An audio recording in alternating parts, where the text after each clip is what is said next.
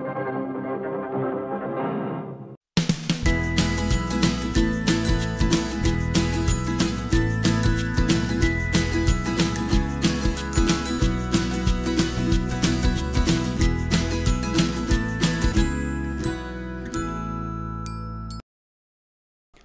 kính chào quý vị khán giả đang theo dõi chương trình tạp chí Sức khỏe đời sống của Đài Phát thanh Truyền hình Hưng Yên. Chương trình hôm nay có những nội dung đáng chú ý. Trong phần bản tin có các tin: Văn Lâm tỷ lệ sinh con thứ ba cao nhất tỉnh. Thời tiết giao mùa làm tăng nguy cơ mắc cúm mùa. Bệnh viện Sản Nhi tỉnh có sẵn vaccine 6 trong 1. Trong mục thầy thuốc với người bệnh, những điều cần lưu ý về bệnh viêm màng não ở trẻ. Mục cẩm nang y học, bài thuốc từ rau diếp cá. Cuối chương trình câu chuyện y tế, kim động, điểm sáng trong công tác phòng chống lao. Bây giờ mời quý vị và các bạn cùng theo dõi phần bản tin.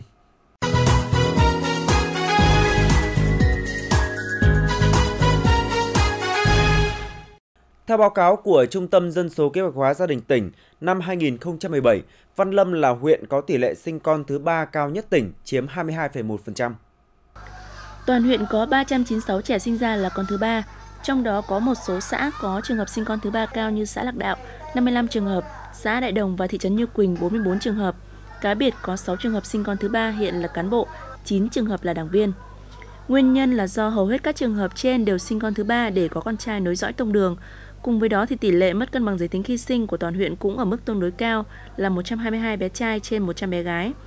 Nếu trước năm 2013, việc sinh con thứ ba sẽ bị xử lý theo quy định của nhà nước, nhưng Nghị định 176 năm 2013 NDCB có hiệu lực từ 31 tháng 12 năm 2013 không đề cập đến việc xử lý sinh con thứ ba. Ở Hưng Yên cuối năm 2016, tỉnh ủy có nghị quyết số 12 về tăng cường lãnh đạo chỉ đạo thực hiện công tác dân số kế hóa gia đình Do chưa được giải thích rõ ràng nên nhiều người lầm tưởng rằng việc sinh con thứ ba đang được khuyến khích. Trong nhiều năm trở lại đây, tình trạng sinh con thứ ba đang tăng cao ở nhiều địa phương. Xã Ngọc Lâm, huyện Mỹ Hào đang phải đối mặt với vấn đề này. Trong năm 2017, xã có 98 trẻ chào đời, trong đó có 18 trẻ là con thứ ba trở lên, chiếm 16,8%. Tình trạng này đã duy trì từ nhiều năm trở lại đây, nhưng từ năm 2013-2014, tỷ lệ sinh con thứ ba của xã luôn ở mức trên 15%. Nguyên nhân của tình trạng này là do xã Ngọc Lâm là một xã phát triển mạnh về công nghiệp, số công nhân cư trú và làm việc trên địa bàn xã đông. Đây cũng là đối tượng nằm trong độ tuổi sinh sản. Tuy nhiên, việc tuyên truyền cho đối tượng này hiện gặp nhiều khó khăn do giờ giấc làm việc thất thường cũng như nhận thức còn hạn chế. Trong thời gian tới, các cấp chính quyền của xã sẽ đẩy mạnh hơn nữa việc tuyên truyền chính sách dân số trên các phương tiện truyền thông, đồng thời kết hợp với các công ty, nhà máy để tuyên truyền các chính sách dân số kế hóa gia đình đến được với đông đảo đội ngũ công nhân, người lao động. Hiện đang là thời điểm ra mùa, thời tiết thay đổi đột ngột. Đây là điều kiện thuận lợi cho virus phát triển, vì vậy khả năng mắc bệnh cúm mùa ở trẻ có chiều hướng gia tăng. Theo thống kê của khoa nội nhi 2, bệnh viện Sản Nhi Hưng Yên, trung bình một ngày có 10 ca bệnh nhi điều trị nội trú vì mắc cúm A. Chỉ trong khoảng 3 tuần sau Tết, bệnh viện đã có trên 200 trẻ được khám và chuẩn đoán mắc cúm, tăng 20% so với thời điểm trước Tết. Nhiều trẻ đến khám vì bị sốt cao liên tục, kèm theo hắt hơi, sổ mũi, đau rát họng, một số có biểu hiện viêm phế quản. Đây là những triệu chứng điển hình của bệnh cúm thông thường. Khi mắc cúm mùa thông thường, trẻ có thể tự khỏi sau vài ngày, nhưng thời gian qua, số trẻ bị cúm phải nhập viện điều trị tăng là do mắc một số chủng cúm nặng hoặc mắc cúm trên nền bệnh khác. Có nhiều trẻ hay bị viêm đường hô hấp nên khi mắc cúm sẽ bị nặng, thường là bệnh viêm phổi. Nhằm đáp ứng tốt hơn nhu cầu tiêm chủng vaccine cho các bé của đông đảo các bậc phụ huynh, Bệnh viện Sản Nhi Hưng Yên đã nhập về sẵn vaccine 6 trong 1. Phòng tiêm chủng vaccine của bệnh viện đã nhập về sẵn vaccine Infaric 6 trong 1 để phục vụ các bé. Một mũi Infanrix 6 trong 1 có thể phòng tới 6 bệnh truyền nhiễm nguy hiểm như là bạch hầu, ho gà, uốn ván, viêm gan B, bại liệt, viêm màng não do híp. Hiện loại vaccine này đang trong tình trạng khan hiếm, nhiều gia đình phải đưa con đến Hà Nội để đăng ký tiêm chủng. Với số lượng có hạn, nên ngay từ bây giờ, các gia đình có thể gọi theo số điện thoại hotline 0968 397 168 của bệnh viện để được tư vấn và đăng ký đặt vaccine tiêm chủng cho bé. Xác định y tế cơ sở là hệ thống y tế gần với người dân nhất. Trong nhiều năm qua, trạm y tế xã Trung Dũng, huyện Tiên Lữ đã khắc phục mọi khó khăn, từng bước cải thiện và nâng cao chất lượng khám chữa bệnh, thực hiện hiệu quả các chương trình mục tiêu quốc gia về y tế. Trạm y tế xã hiện có 6 cán bộ, trong đó có một bác sĩ. Trạm được đầu tư xây dựng nâng cấp đạt chuẩn quốc gia về y tế với đầy đủ trang thiết bị cơ bản để phục vụ cho công tác khám chữa bệnh. Hàng năm, trạm khám và điều trị cho hơn 5.000 lượt người. Các chương trình mục tiêu quốc gia về y tế cũng được trạm triển khai có hiệu quả. Tỷ lệ trẻ dưới 1 tuổi được tiêm chủng đạt trên 98%, số trẻ được uống vitamin A đạt 99% kế hoạch, 100% số người cao tuổi trên địa bàn được lập hồ sơ quản lý khám sức khỏe, tổ chức khám sức khỏe định kỳ, cấp phát thuốc miễn phí, qua đó phát hiện kịp thời các bệnh tật cho các cụ. Công tác giám sát dịch bệnh được duy trì thường xuyên, không có dịch bệnh lớn xảy ra trên địa bàn. Nhờ hiểu được lợi ích của việc sử dụng nước sạch, vì vậy tính đến thời điểm này, xã Phú Cường, thành phố Hưng Yên đã có trên 80% số hộ dân sử dụng nước máy. Công ty cấp nước Phú Hưng đóng trên địa bàn thôn Kệ Châu 1, xã Phú Cường, thành phố Hưng Yên bắt đầu đi vào hoạt động từ tháng 1 năm 2017 với công suất 3.000 m khối trên một ngày đêm. Công ty sẽ cung cấp nước sạch cho khoảng 12.000 hộ dân của 9 xã trên địa bàn huyện Kim Động. Sau hơn một năm triển khai, đến nay xã Phú Cường đã có trên 1.300 hộ dân sử dụng nước sạch, tức chiếm khoảng 84% tổng số hộ dân toàn xã và là một trong những địa phương có tỷ lệ sử dụng nước sạch cao trên địa bàn toàn tỉnh. Trong đó các thôn như là Tân Mỹ 2, Tân Trung, Kệ Châu 1 đều có tỷ lệ người dân sử dụng nước sạch đạt gần 90%. Trong thời gian tới, địa phương và các doanh nghiệp sẽ tiếp tục mở rộng và nâng cấp đường ống nước sạch cũng như tăng cường tuyên truyền giúp người dân hiểu hơn về lợi ích của việc sử dụng nước sạch trong sinh hoạt.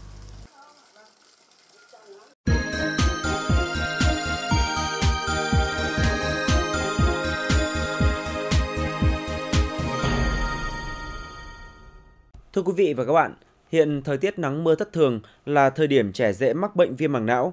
Nếu không kịp thời xử lý thì bệnh có thể biến chứng nhanh và khiến trẻ tử vong.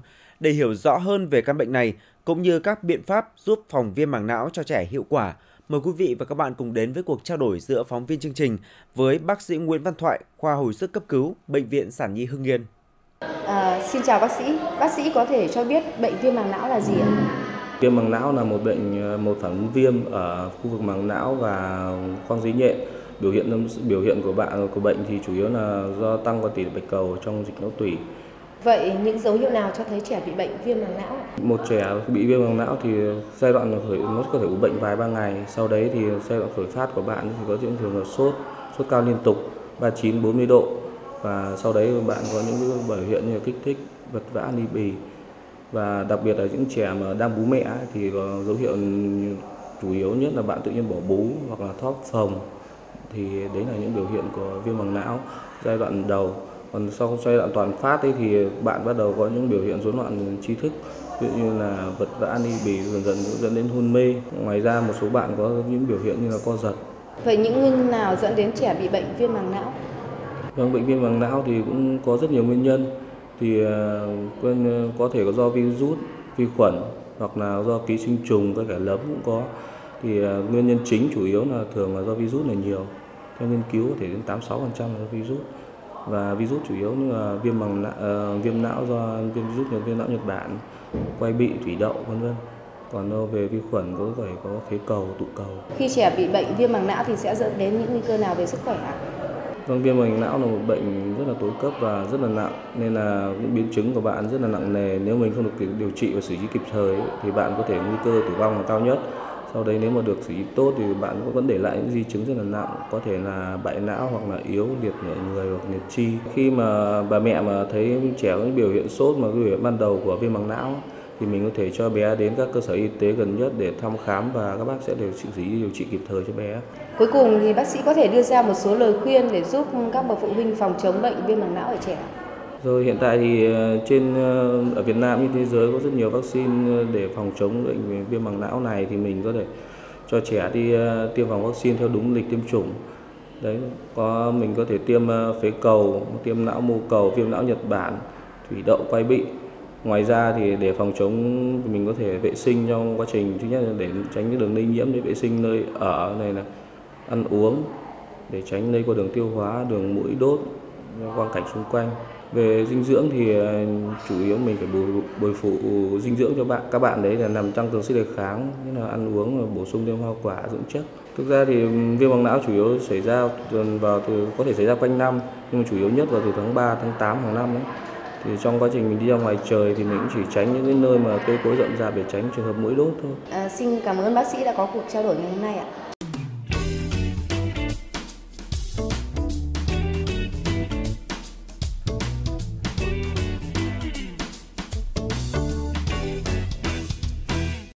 Cây diếp cá còn gọi là ngư tinh thảo là một loại cây quen thuộc. Theo y học cổ truyền, diếp cá nằm trong nhóm thuốc lương huyết tiêu độc, có vị cay, tính lạnh vào các kinh phế và can. Vì vậy, nó có tác dụng thanh nhiệt, giải độc, lợi tiểu. Trong chuyên mục ngày hôm nay, bác sĩ Phạm Thị Thu Thủy, Bệnh viện Y học cổ truyền tỉnh sẽ giới thiệu tới quý vị và các bạn một số bài thuốc đơn giản và hiệu quả từ loại cây này. Xin kính chào quý vị khán giả. Hôm nay tôi xin được giới thiệu tới quý vị tác dụng và một số bài thuốc từ cây dấp cá. Cây dấp cá là một cây gia vị rất là phổ biến trong nhân dân và Ờ, nó còn có tên gọi khác là diếp cá. Theo y học cổ truyền nó là ngư tinh thảo, có vị à, cay chua, à, tính mát, hơi lạnh, à, quy vào kinh phế đại trường bàng quang. Ờ, cây dấp cá có tác dụng thanh nhiệt, giải độc, lợi tiểu, tiêu thủng. Công dụng của dấp cá thường để chữa các chứng phế viêm, trĩ, mụn nhọt, sỏi thận, bế kinh. Sau đây tôi xin giới thiệu một số bài thuốc được ứng dụng từ cây dấp cá như sau. Thứ nhất là à, sốt ở trẻ em thì dấp cá tươi à, 40g, à, giã nát, lọc lấy nước, đun sôi để uống Bã thì cho vào cái gạc hoặc là khăn xô đắp lên chán để có tác dụng hạ nhiệt. Về điều trị bệnh trĩ, cây dấp cá được sử dụng để điều trị trĩ, đặc biệt là trĩ nội độ 1, độ 2 rất là tốt. Ờ, với ờ, dấp cá khô thì ờ, chúng ta có thể dùng 100 g dấp cá sắc nước hãm thay chè uống hàng ngày để có tác dụng thanh nhiệt rất là tốt. Thứ hai là có thể dùng điều trị trĩ bằng dấp cá tươi thì có thể ăn rau dấp cá tươi hàng ngày hoặc là dùng khoảng 50 g dấp cá giã nát thêm một chút muối à, nước thì dùng để rửa hậu môn bã thì đắp lên vùng hậu môn để điều trị trĩ à, đối với à, điều trị chứng rối loạn kinh nguyệt hoặc là bế kinh thì có thể dùng 30g dấp cá tươi với 20g ngải cứu, ngải cứu tươi sắc lên uống trước chu kỳ kinh nguyệt 7 ngày. Dấp cá còn có tác dụng điều trị mụn và làm đẹp. Ờ, có thể dùng ờ, một thìa dấp cá, nước cốt dấp cá trộn với một thìa mật ong ờ, đắp mặt trước khi đi ngủ 30 phút sau đấy rửa sạch. Có tác dụng trị mụn, chống nám, kháng khuẩn Ngoài ra chúng ta có thể dùng à, nước cốt lô hội trộn với một thìa nước cốt dấp cá. Sau đấy đắp mặt cũng có tác dụng dưỡng da, à, kháng khuẩn rất là tốt và tẩy tế bào chết. Ờ, Cây dấp cá này có thể sử dụng cho cả trẻ nhỏ và người lớn.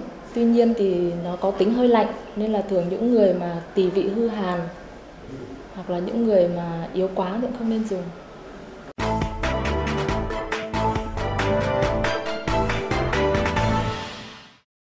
Không giống các loại dịch bệnh khác, đối với bệnh lao, việc thu dung càng nhiều bệnh nhân là dấu hiệu tích cực cho thấy chương trình phòng chống lao đang ngày càng có hiệu quả. Kim Động hiện là địa phương được đánh giá làm tốt công tác này với tỷ lệ bệnh nhân lao là nguồn lây được phát hiện thu dung cao nhất tỉnh. Xã Ngọc Thanh hiện có 3 bệnh nhân điều trị lao, trung bình hàng năm, xã quản lý và điều trị cho từ 3 đến 5 bệnh nhân.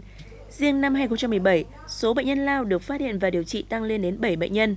Đáng chú ý, Ngoài những bệnh nhân lao được phát hiện mới, có hai trường hợp bệnh nhân lao tái phát. Ông Đào Văn Đông ở thôn Duyên Yên là một trường hợp như vậy. Ông mắc lao năm 2016, sau một thời gian điều trị, ông đã khỏi bệnh lao, nhưng do ít có điều kiện nghỉ ngơi, chăm sóc sức khỏe. Trên nền tảng sức khỏe đã suy yếu trước đó, nên từ đầu năm 2018, ông lại phải tiếp tục điều trị bệnh lao. Được sự tư vấn hướng dẫn tận tình của các y bác sĩ, nên ông luôn tuân thủ phác đồ điều trị, không tự ý bỏ điều trị bác sĩ rồi y tá các thứ là vẫn cứ bảo là thế bệnh tình như thế nên là phải uống thuốc các thông các thứ cho nhiều đủ tháng đủ thế mà bác sĩ nói thì mình phải nghe thôi bệnh lao dù không còn là tứ chứng nan y như trước đây Song sự kỳ thị đối với bệnh nhân lao vẫn còn rất lớn. Khi mới phát hiện mình bị mắc lao, ông Đoàn Văn Hiên ở thôn Bằng Ngang, thị trấn Lương Bằng đã rất hoang mang lo lắng, nhưng được các y bác sĩ của trạm y tế Trấn An, ông đã yên tâm điều trị. Các bác sĩ thì cũng nhiệt tình chăm sóc các cái đầy đủ. Tất cả cũng phải nghe lời của các bác sĩ ở về thì ờ, lấy thuốc rồi các cái là cũng điều trị cho hết đúng thuốc đúng ngày tháng. Bệnh lao là căn bệnh có thời gian điều trị kéo dài, ảnh hưởng đến công việc và cuộc sống của bệnh nhân. Hiểu rõ được những khó khăn đó, cán bộ làm công tác phòng chống lao tại trạm luôn quan tâm, theo sát bệnh nhân. Vì thế, trong nhiều năm, các xã như là Ngọc Thanh, Chính Nghĩa, thị trấn Lương Bằng không có bệnh nhân bỏ điều trị, tỷ lệ bệnh nhân khỏi bệnh là 100%. Trong quá trình ờ, phát thuốc, cấp phát thuốc thì thường xuyên là trạm y tế là cấp phát thuốc cho bệnh nhân là 10 ngày một lần.